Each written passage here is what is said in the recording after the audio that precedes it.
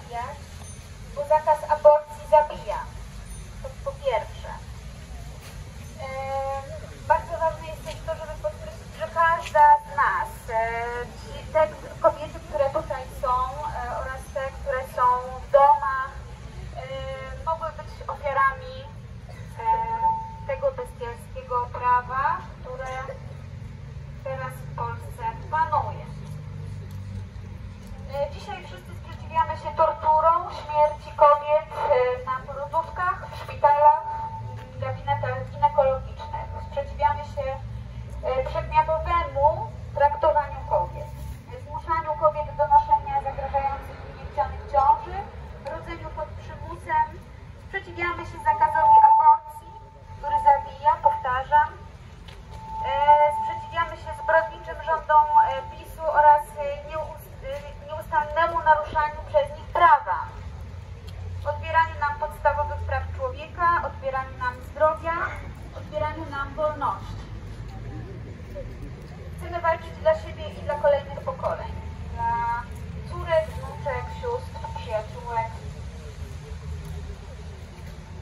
Jeszcze kobiet, ile z nas musi poświęcić swoje życie, aby nas us- usłyszano? W końcu nas usłyszano. Pytań jest wiele, ale odpowiedzi brak. E, Drodzy Państwo, teraz e, chciałybyśmy też e, przybliżyć tę historię tych kobiet, które, które no, straciły życie. Em, Chcemy, wybrzmiały dzisiaj głośno, nie chcemy o nich zapominać, bo tą kobietą mogła być każda z nas. E, Więc drodzy Państwo, teraz e, taka chwila pamięci po prostu. Nigdy nie zapomnimy. 24 maja 2023 w szpitalu imienia Jana Pawła II w Nowym Targu zmarła 33-letnia Dorota.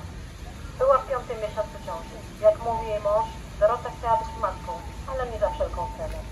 Z soboty na niedzielę, z 20 na 21 maja Dorocie odeszły wody płodowe. Mąż się do szpitala. Lekarz dyżurujący stwierdził totalne bezwodzie. Decydujący moment, szansa na uratowanie życia pacjenta. Personel medyczny jest konieczny.